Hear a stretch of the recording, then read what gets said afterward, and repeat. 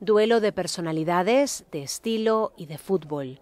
Mañana 25 de julio, el Estadio Nacional de Pekín será el escenario del primer cara a cara de Pep Guardiola, técnico del Manchester City, y de José Mourinho, entrenador del Manchester United. Un encuentro de alto voltaje en el que ambos prometieron darse la mano manteniendo el espíritu amistoso de este partido, parte de la pretemporada de la International Champions Cup. Guardiola insistió tras el entrenamiento de su equipo que como gente educada se saludarán porque no hay razón para no hacerlo.